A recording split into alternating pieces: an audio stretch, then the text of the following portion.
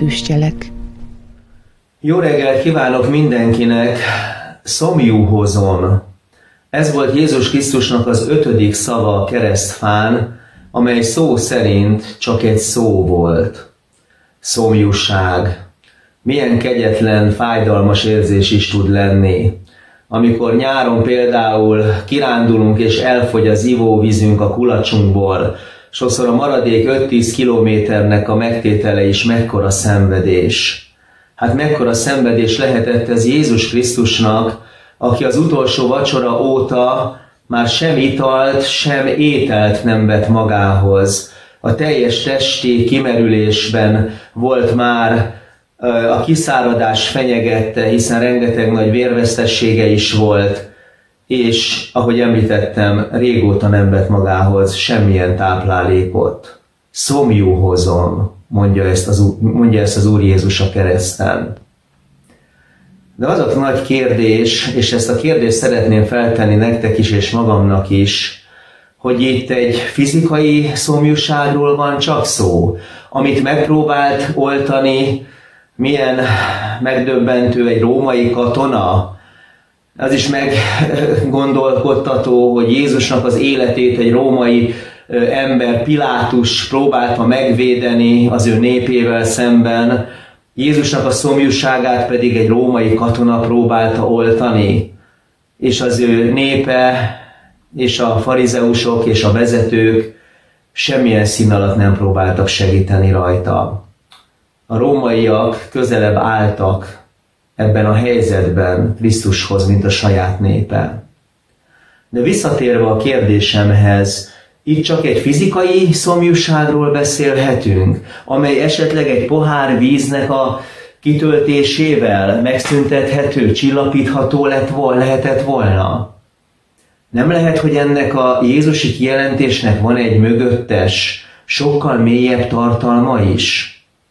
Szomjúhozom, Jobb könyvében olvassuk azt a 14. fejezet 15. versében, hogy kívánkozik az Isten az ő kezének alkotása után. Ezt jó mondja, hogy kívánkoznál, Uram, a te kezednek alkotása után.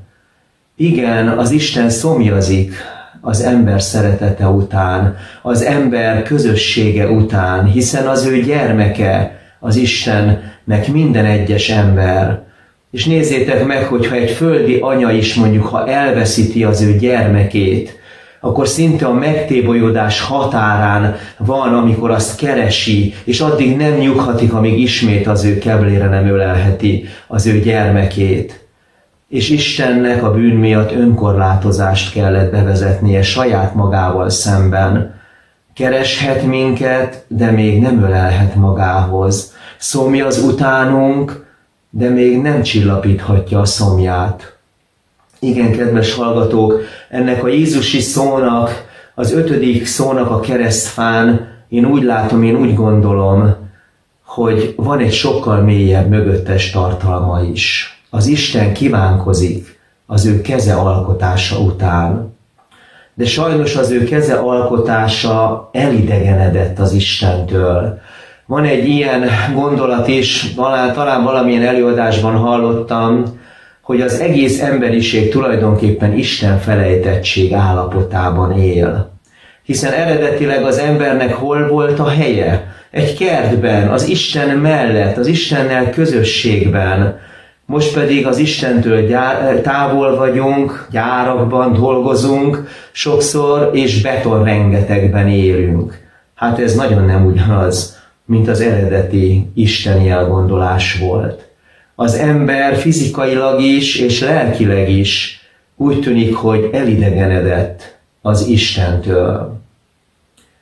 De Jézus Krisztus, amikor kimondja azt, azt a szót, hogy szomjúhozom, akkor nem csak fizikai víz után vágyódott, hanem az ő teremtményei utáni sóvárgása és szeretete nyilatkozhatott meg ebben a szavában, hogy igen, ember, én szomjazom utánad, én azt szeretném, hogy amit János apostolnak az evangéliumában, a tizedik fejezet 28. és 29. versében olvashatsz ember, ahol a, a jó pásztornak a, a leírása van, hogy senki ki nem ragadhatja majd a megtért és megváltott embert, sem az atya kezéből, 28. vers, sem az én kezemből, 29. vers.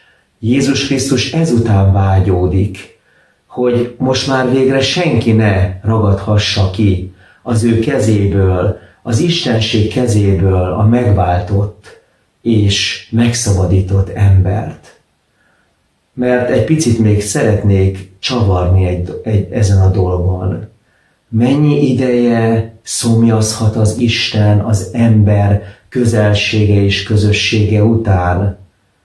Jézus a kereszten szomjazott fizikailag, de maga az Isten a bűneset óta, idestova 6000 éve szomjazik egy viszont igenre, egy viszont itt vagyok édes atyám szóra, egy viszont szeretetre.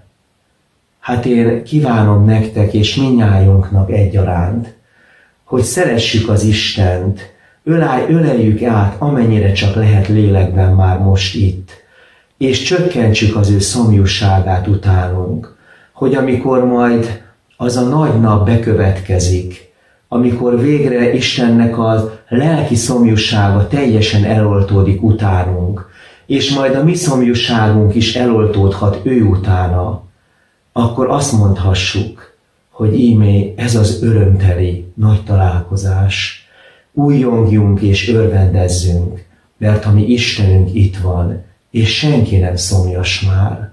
Nem mondja sem Isten, sem ember azt, hogy szomjú hozom. Köszönöm szépen a figyelmet, és egész napotokra ennek az egy kis szónak szomjú hozom a lelki forgatását kívánom nektek.